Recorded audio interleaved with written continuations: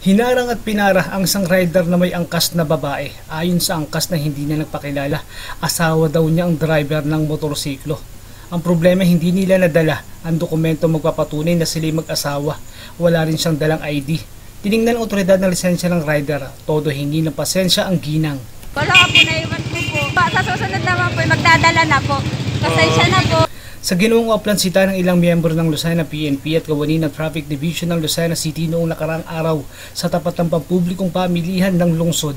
Bukod sa mga rider na walang suot na helmet, mga magkaangkas na motorsiklo na walang patunay na sila'y mag-asawa o magkasintahan na nagsasama sa isang bahay ang tumambad sa mga otoridad. Tulad ng mag-living partner daw na hindi na rin nagpakilala bukod sa walang driver's license na maipakita ang nagmamaneho. Wala ring patunay na magpartner sila.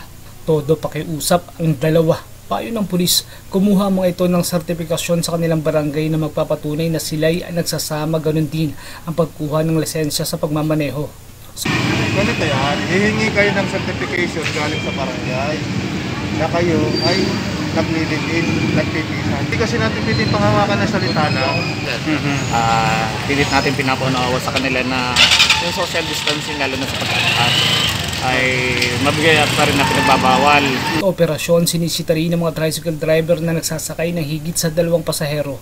Isa lang dapat ang sakay at ito'y nasa loob.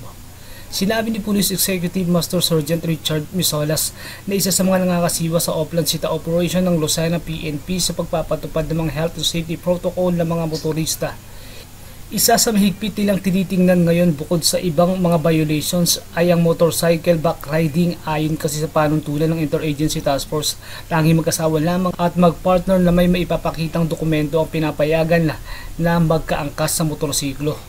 Tayo sa batas ng hindi tayo nagkakaroon ng problema. Sa halos araw-araw umanong operasyon, minimal na lamang umano ngayon ang motorista ang matitigas ng ulo. Bagamat aminadong meron, hindi daw titigil ang mga otoridad sa pagsasagawa ng operasyon laban sa mga ito na bahagi ng minimum health standard sa paglaban sa COVID-19.